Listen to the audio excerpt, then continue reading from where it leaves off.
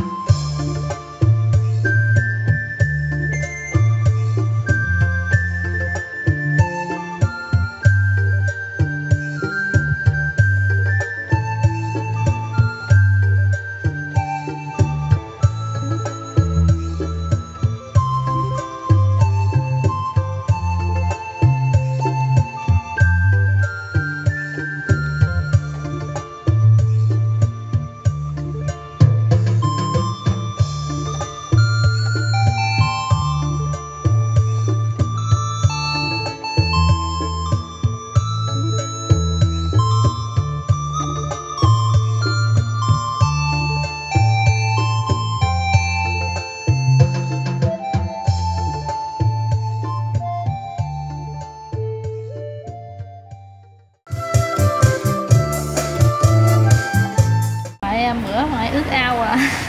Làm chi bao à, nằm mơ thấy ăn bánh xia bánh xíp không ạ?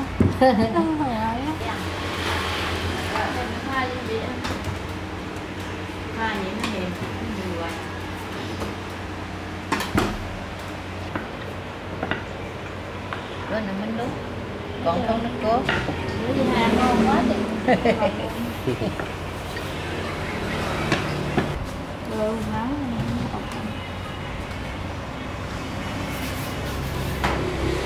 lấy cái da da dẻ nè Đâu à Đâu à.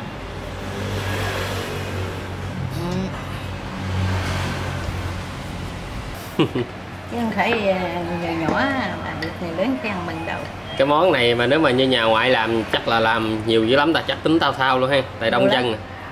Hồi đó làm lần ăn cả ừ, mấy gia đình lận sơn Chứ đâu Dạ. phải nhà mình rồi mình gì cho hàng xóm nữa đó. Rồi khi mình làm cho hàng xóm mốt cái hàng xóm làm cho lại. Làm cho lại. Mà một năm mần đâu có mấy lần đâu sơn. Dạ.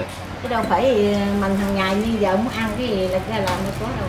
Nhà, nhà bà ngoại mà làm chắc hay mình nhiều lắm luôn á. Ở quê em có làm món này không xuyến Vậy có rồi đó bà Ừ. ngoại em thấy bà ngoại có làm. Thôi bà bà ngoại làm. Hả mẹ không có làm hả? Má không có làm ở nhà bà cố bên cậu lịa thích mừng bánh tối ngày hả sen dạ. À, cố Vậy ở chung bà ít. có cũng vui mà cực dữ à làm suốt ngày ha. Bà cố mừng ít à đủ bà cố ờ, ăn thôi. Cái ờ, gì hay miếng à, bà cố nói à, trưa không có gì ăn cái bà cháu nấu một chén bánh lụm tẩm vì hai miếng được cưng dữ ha. Cưng như con gái út vậy. Dạ. ừ, tại vì nó con sáu à, đi ghe đó Dạ. rồi gửi gì hai ha dì hai ở nhà với bà cố. Dạ. Ừ. nhỏ này giống giờ bánh canh quá à. Nhà hay làm bánh canh à, bằng bột gạo giòn gì nè. Bánh canh bột. Bánh canh bột. Nhưng vừa mẹ xào với đường hả mà xào với đường. Dừa này hơi non và thêm chút nữa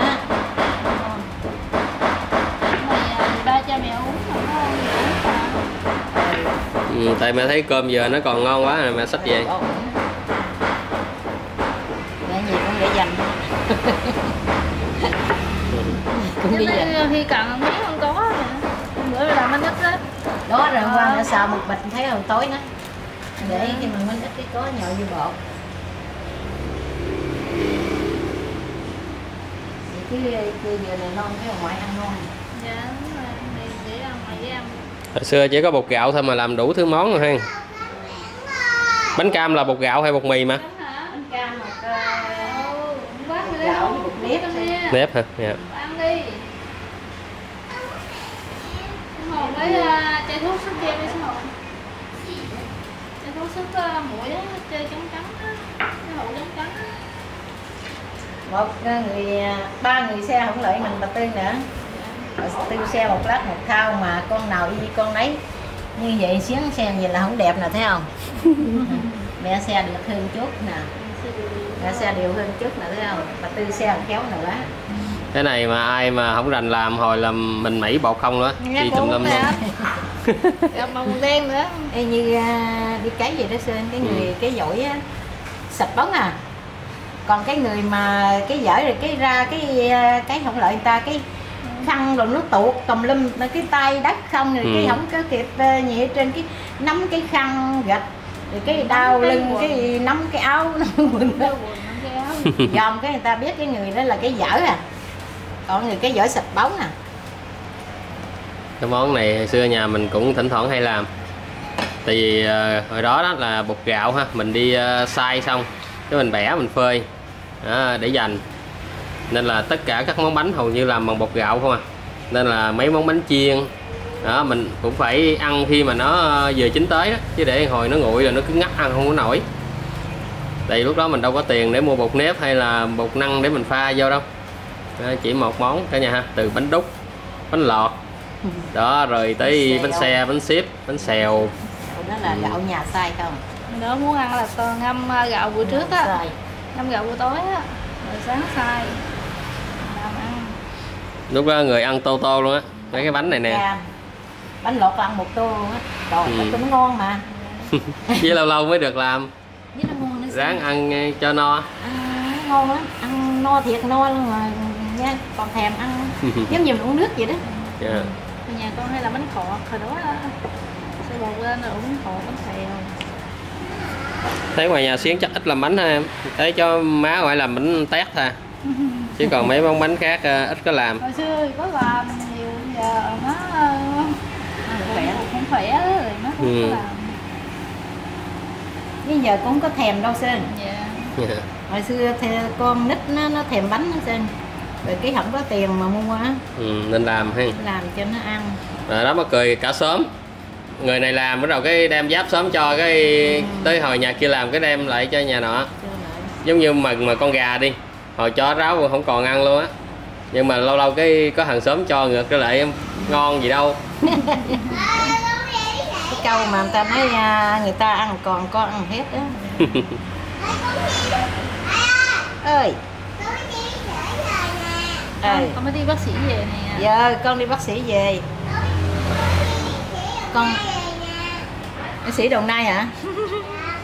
Bác sĩ cần vuột con vuốt bác sĩ cần vuột chứ không phải đồng nai đi chích uh, vaccine. Chích ngừa bánh này chắc có từ lâu rồi phải không mẹ? Mẹ nói từ hồi bà cố là đã làm món bánh này rồi. Ha rồi sữa tới giờ. Vậy là dư ờ, nhân quá trời rồi. Dư bỏ vô tủ. Với với Ừ. tủ để dành mẹ để dành. Ai đẳng còn hả? Hàng hà nhân đậu đẳng ta còn như đậu nữa hả? Ừ, lúc nào ăn bánh cũng có. Này chắc cô chú anh chị mình biết làm quen rồi ha. Tại vì mấy cái món này á, là món truyền thống xưa giờ. Nhưng mà có thể mỗi nhà làm kiểu khác một chút. Ví dụ giống như mẹ cho nước vô để cho nó ờ, sền sệt. Sau đó mẹ cho lên bếp mẹ bắt cho nó à, lấy trùng á là chín 50 phần trăm đó. Rồi cho cái phần bột còn lại là bột nếp vô đó, sau khi à, mà mình để nguội rồi mình sẽ cho bột năng vô và mình nhồi nó cho khi nó dẻo nè. Vậy bột năng khoảng trăm gram không ạ? Chắc ờ, luôn này kia không tới à không tới hả? Tại nằm thấm tay nè. Dạ. Áo hả? Ủa nếu mà mình bỏ lên bếp mà mình cho nó lấy trùng kiểu đó nó có bị nhão không ạ? Làm sao cho nó khô ráo lại ta? đặt lại. Rồi Vậy cho đặt luôn hả? ừ. dạ. Quậy quậy quậy gì cái nó đặt lại cái để nó nguội. Nguội cái mình mình lấy bột năng mình thấm tay mình nhồi dạ. Tại lúc nãy hoàng sơn ờ, chở sơn hà đi ờ, chích ngừa nên là không có coi mẹ làm. Ờ, chắc cô chú mình cũng biết cái cách làm rồi ha. Này cái này ai cũng biết hết à, Hoàng Đây, Sơn nhắc xưa- lại để tham khảo. Ngày xưa ai cũng làm. Xưa nhà thường hay mần ăn á. Dạ. tức là mẹ dùng 500 gram bột gạo nè. Rồi mẹ cho nước vô cho sạch sạch. Đó, rồi cho lên lò bắt lên mình quậy cho nó chín sơ sơ. Đó, cho luôn cả bột nếp vào rồi khi mà nó ờ, ráo lại rồi đó cái mình để nguội. À, mình cho bột năng vô để mình nhồi nó bột năng thì chưa tới 100 gram nha. Sắm tay. Nên trong đây là vừa có bột nếp nè bột gạo nè bột năng nữa nha. Là vậy con tưởng đâu mà mẹ làm giống như cái bột bánh ít bột bánh ít làm vậy được không mẹ khác không rất thì mình nhồi bằng nước sôi chứ không có lấy trồn. Dạ. Nhưng mà nếu mình làm bột bánh ít mình làm giống vậy được không? Không. Không làm gì nó bị cứng á. À cứng Ừ, hả? à dạ cái này thì phải làm mềm hơn. À, mình hơi nhỏ hơn. Dạ. Giống như mình quậy nó sình sạch còn bột nó ít mình nhồi nó cứng mà Dạ. còn này nó Ừ, sạch nó- sạch vậy nè. Dạ. Mình bắt con bé mình quậy cho nó nửa chừng nó đặt đặt lại. Còn mình nhồi như bột nó ít thì nó khô lắm. Sắp hết vào rồi. Ủa cũng còn nhiều quá nè xiếng về sẵn ra hai bốn sáu rồi cục to này nè cũng cả chục cái nè. Cái đó mày xếp không hả? Giờ không xếp hay giò mà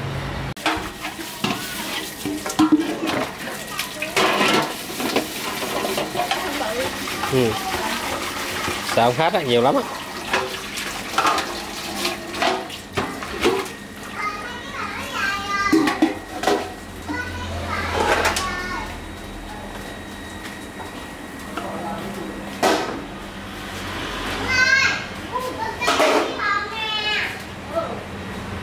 xong hả mẹ? Cũng được mười mấy cái. Bánh xe thì rất là nhiều.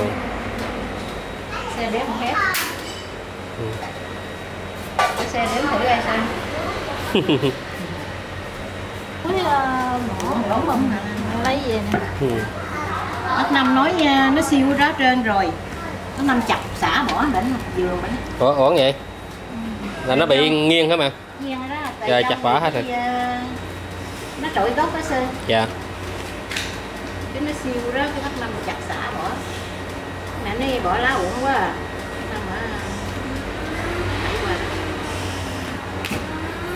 này em phải xé chừa lỗ cho lên hơi nha. Đúng rồi. Đâu đưa mẹ coi coi.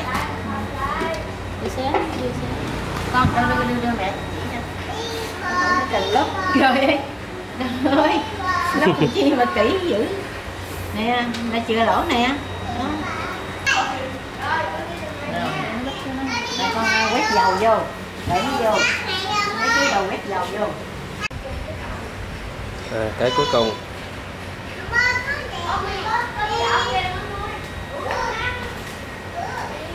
Là mình được 24 cái.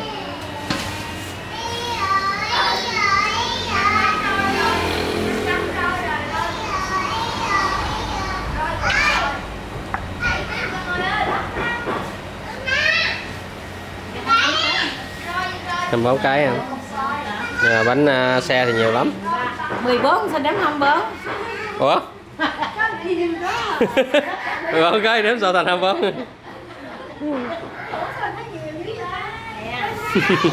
vô đây là sao đếm Phải vậy chút ờ, xíu nữa đây ờ cái khúc khúc đầu để đem cho còn khúc sau để ăn là nhịn luôn à. Trời ơi đếm cái này chết rồi đây đây mình à, để gì kìa xô này vô Rồi giờ để con giò đi cho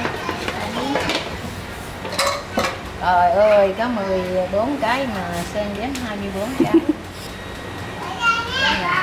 Đếm làm sao mà 24 cái.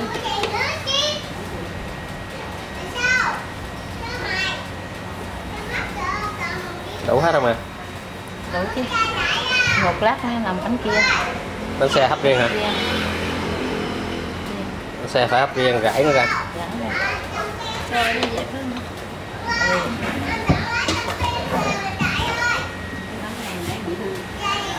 Sẵn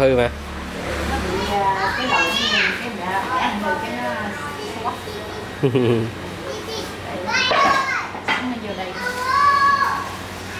Nè, rồi hấp luôn em nước sôi hết chứ. Chờ sôi hả À, bắt lên đây nước Bắt sôi. lên. đậy lại để nó khô chín trong suốt nhìn đẹp không ạ chín này cô chú thấy sau khi mà mình xếp nè nó càng thô á thì nó lại càng đẹp. Ừ. Ờ, chứ nó mịn quá là nó mất luôn cái ờ, dấu luôn. Nè. Được quá ha con dắt rồi giờ mình lấy này ra mình sẽ hấp tiếp cái bột xe bánh xe. Này xếp gọi là bánh xếp ha. Hai này giống như là bánh còng với bánh cam vậy đó. Ừ. cùng một loại nhưng mà ra hai cái hình dáng. Bánh lọ bánh còng thì bánh chỉ là bột à, mình nhắm đường thôi. Còn bánh à, cam á thì nó có cái nhân đậu xanh. Bánh xe bánh xếp thì cũng vậy cũng là bột. Mình ăn với à, nước cốt dừa. Nhưng mà cái bánh xếp thì nó có cái nhân.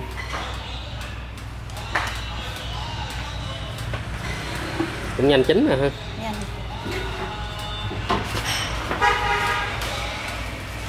À, còn chú anh chị thấy đẹp không Hồi trước là mình tranh thủ mình ăn để nó chín cái là nó sẽ rất là khô cứng. Giờ nó nó nguội lại cứng lắm. Ừ. rồi giờ nhà có bột pha đó nên nó đỡ hơn rất là nhiều. Rồi giờ mình tiếp tục cái phần còn lại nha. Một lần hết không ạ? Hết. thấy nhiều quá nè.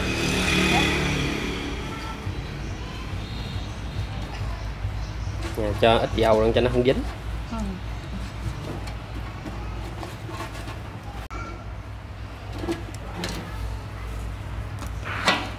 Đổ nhau ha.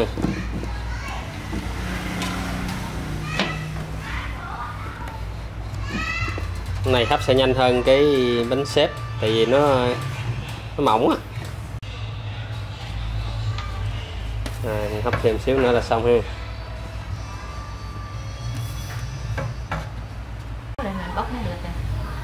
Rồi bây giờ mình chia vào hành lên để cho nó không dính ha. Rồi mình khi nào ăn á mình cho nước cốt dừa vô nước dừa đi vô ăn thêm vậy ăn cũng ngon nữa nè. Dạ. hành này cứ bỏ mớ muối nè. Ăn vậy cũng ngon nữa nếu không ăn nước cốt dừa thì vậy cũng được rồi ha. Ừ. bỏ mớ muối trong hành á. Dạ. Rồi giờ mình cho ra lõ này nha.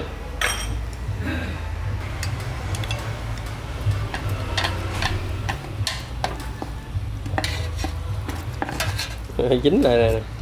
Dính lại chứ lát nó rời ra xúc ra Tại nó còn nóng á. Đó lát nó nguội nó xúc ra.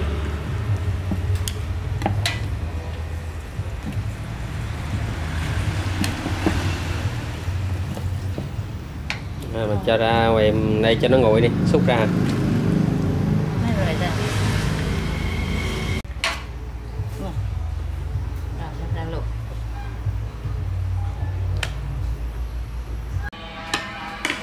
Rồi giờ mình ăn mình chia ra ha chia nó phần ra. chút nó nguội lại đã. Chứ giờ còn nóng không có ngon. Sẽ hạn nó không? Nguội giống như mấy cái này nó nguội rồi nè. Thì dạ. mình mình bóc nó được nè. Đó, bánh xếp nha. bánh xếp nha. Cho đủ vào rồi cái nó được rồi rồi giờ chan nước cốt ha hồi xưa ăn đâu có ít vậy? Ăn nhiều lắm. Một người phải một một dĩa lớn chứ Dạ. không phải cái dĩa nhỏ này đâu. Bằng ba cái lần vậy nè. Dạ. một người ăn à, mẹ cho con miếng nước cốt không mẹ lăn cái này ra là cho lát nó rợn nãy mẹ ăn thử một cái rồi giờ sơn ăn thử đi. À, mời cô chú anh chị thử món này nha. À, bánh vừa ra lò đây. À, Hồ Sơn mời cô chú anh chị nha giờ mình à, thử món này rồi mình đem về cho ngoại ha à, mời cô chú xem nè. Rất là dễ làm bánh ngày xưa ha. Ta có một cái bánh xếp ha với ít bánh xe nè. Rất là hấp dẫn quá ha. Trong thì mình có nhân dừa nha nếu mà có dừa rám thì rất là ngon. Còn à, cái này là dừa này nó hơi mềm bữa mình lấy trên má ba về làm nè. Đó đang còn nóng hổi hấp dẫn lắm. Cái món này ngày xưa mình hay làm tại nhà chỉ có bột gạo thôi. Tranh thủ á mình ăn trước khi nó nguội hơi cứng. Rồi giờ mình có bột năng cái loại bột à, bột đép á rất là mềm. Ừ. rồi vào sân cho cả nhà mình xem ha. Cái bánh mình có pha bột năng bột đép nè. Đó nó sẽ khác với bánh mà không pha bột ở chỗ nào đó, rất là dẻo luôn. Nguội nó cũng dẻo qua chú anh chị ha. Đó, có bột nhân nè. Mình có thể làm với nhân dừa rám. Rất là ngon. Đó. rồi cảm ơn cả nhà đã theo dõi nha ừ, tạm biệt và hẹn gặp lại bà con mình ở video sau nha.